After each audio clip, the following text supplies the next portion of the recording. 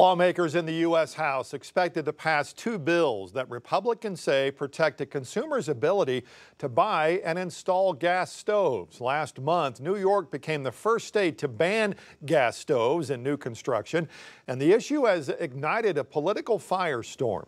Natalie Brand has the story.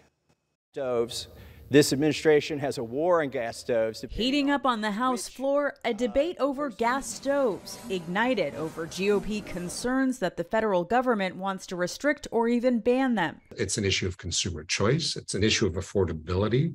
Washington State Republican Dan Newhouse points to bans at the local level, like the one recently enacted in New York, a victory for climate advocates and those worried about indoor air quality. Newhouse believes a new proposed efficiency standard by the Department of Energy could block the sale of many gas cooking appliances nationwide. This is an incremental step in uh, moving the country away from a, a, source of energy that we desperately, vitally need. The Department of Energy argues the proposals are intended to boost energy efficiency for new products and would not go into effect until 2027. The agency emphasizes it's not trying to do away with gas stoves.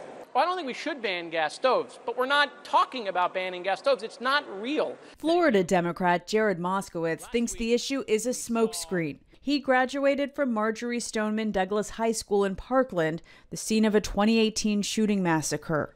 We've not had one hearing on school safety, not one hearing on school safety, multiple hearings on how some boogeyman is going to come to your house and take your gas stove. While one gas stove bill targets the Energy Department, the other is aimed at the Consumer Product Safety Commission, which also insists it does not intend on banning gas stoves.